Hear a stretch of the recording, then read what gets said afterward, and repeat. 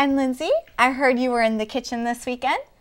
Yes, I was trying out some many new recipes. Well, here's Lindsay's cocina package. Hi, everybody, and welcome to Cupid's Kitchen. I'm your host, Ms. Cupid. It's that special time of year again. Love is in the air. That's right, I'm talking about Valentine's Day. And I'm here to help you not only save money, but make a special gift for that sweet someone who will make them especially grateful to have you in their life. What is this special gift, you might ask? I like to call them Cupid's Cookies. So this special gift is only going to take about 15 minutes of your time. And today we're going to be using Pillsbury's special pre-made Valentine's Day cookies, so you need even less time in the kitchen. And you're basically just going to be following the step-by-step -step instructions on the back.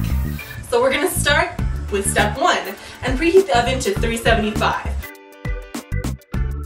So we're going to go ahead and open the cookies and place them on the cookie sheet. And it says to have them about two inches apart.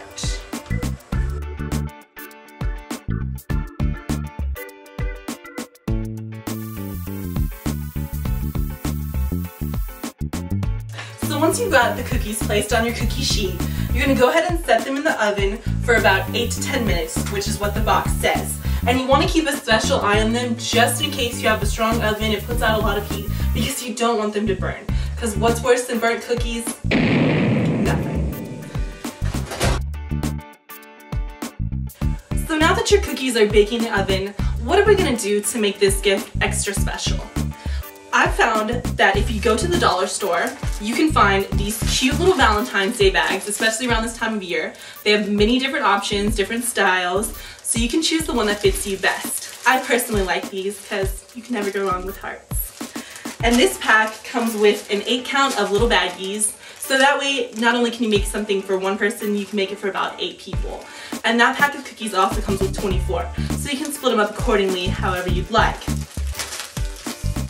And then, once you have the bags, I also found these at the dollar store with these cute little sayings on them. Ones that say cute stuff, forever. We've got Be Mine, and also Love Bug.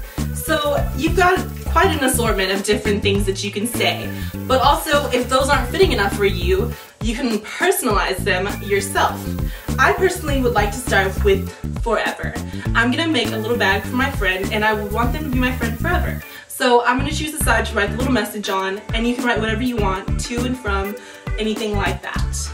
And now I'm gonna write a sweet message to my friend. I wanna say we're gonna be friends forever. So, forever is already on the little heart, so I will just add friends. Forever is already there, so I will just add an exclamation point.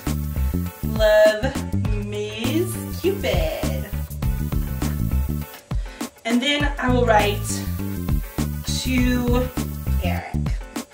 So that's ready to go for my special little bag.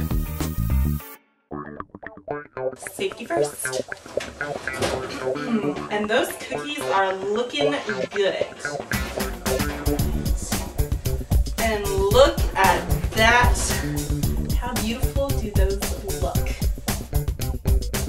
So while those are cooling off, we can go ahead and get our bags ready, prepare them for putting our cookies inside of them. So we'll have that one bag ready. And again, while those are cooling, you can always um, make your other little tags for your other friends. You can make them sweet, you can write poems on them, pretty much anything that you want to do because it's personalized from you.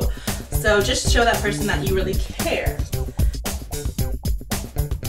Alright, now that our cookies have cooled, we're going to go ahead and put them inside of bags. And as I said earlier, the pack of bags came with 8 and our cookie pack came with 24. So if you do the math, that's 3 cookies to each bag, which works out really perfectly because it's not too much and it's not too little. We're to go ahead, 3 cookies to our bag, and then choose the heart, throw that in there, and there you have it. The perfect Valentine's gift for just about under $5. What more could you ask for? It's from the heart and keeps money in your wallet. Thanks for stopping by Cupid's Kitchen. Until next year, see you then.